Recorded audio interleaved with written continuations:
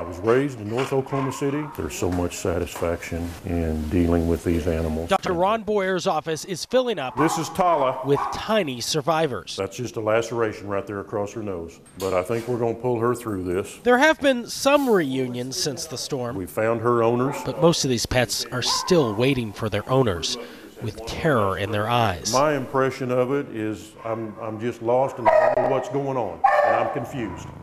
This, however, isn't a story about the animals at the clinic. We have an old storm cellar. It's about the employees themselves. We're in the middle of working and kind of keeping an eye on the weather and Uh, then we could see it just right over there. The doc's assistant, Zane Mueller, and One son was here with me. too, too close for me. all saw that twister coming right for them. I don't know, there must have been six or seven of us and, and some employees from the convenience store across the street. A couple of cars stopped in there and you could see the debris ball coming. It was a little scary there for a little bit. We were closer than we would have liked to have been to that storm. There were no lights inside, just a rickety ladder. So you can imagine 15 people trying to get down here as fast as possible. I feel like I'm gonna slip. Yeah. And there's no wind blowing me. People were coming down a lot faster.